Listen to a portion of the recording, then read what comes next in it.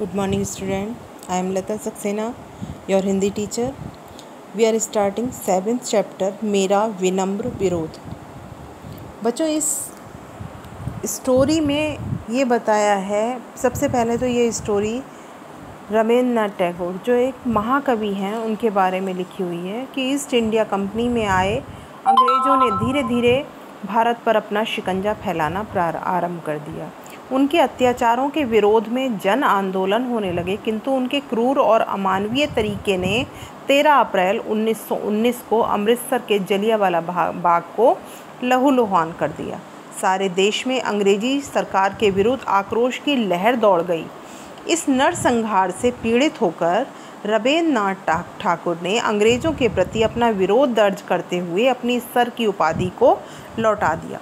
तो इस चैप्टर में यही बताया है कि जब 1919 में अंग्रेज़ों ने एक अन्यायपूर्ण कानून रॉल, रॉलेट एक्ट बनाया, जिसमें भारतीयों द्वारा किए जाने वाले स्वतंत्रता आंदोलन को दबाया गया और भारतीय राजनीतिक कैदियों को बिना किसी ठोस कारण के दो साल जेल में रखने की अनुमति प्राप्त की गई। इस अन्याय के खिलाफ गांधी जी ने सत्याग्रह शुरू किया। देश भर में जुलूस निकाले गए, हड़तालें हुई, दुकानें बंद की गई।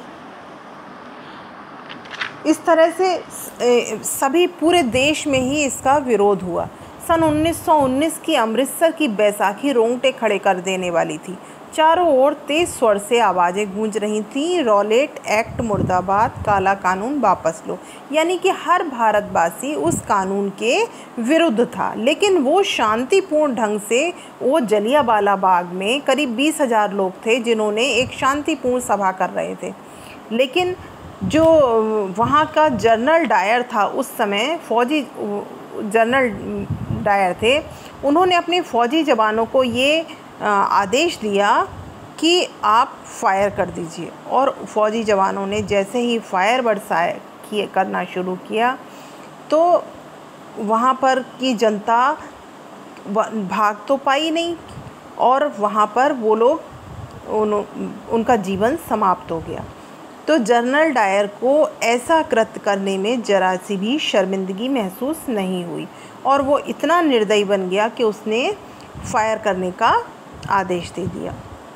31 मई 1919 को रविन्द्रनाथ टैगोर ने इस हृदय हृदय विदारक घटना के विरोध में 1915 में प्राप्त की गई सर की उपाधि को लौटा दिया, जो भारत के उस समय वायसराय लॉर्ड जेम्स फोर्ड को एक पत्र लिखा और अपनी सारी बातों को उस पत्र में उजागर किया और कहा कि मैं कम से कम भारतीयों के साथ, इतना तो अपने देशवासियों के साथ, इतना खड़ा हूँ और यही मेरा उनके साथ एक सहयोग है कि मैं अपनी सर की उपाधि जो आप लोगों ने मुझे सम्मानित किया था, मैं उस उपाधि को आपको वापस लौटाता हूँ। तो इस कहाँ, इस चैप्टर में यही बात को समझाया गया है। Thank you.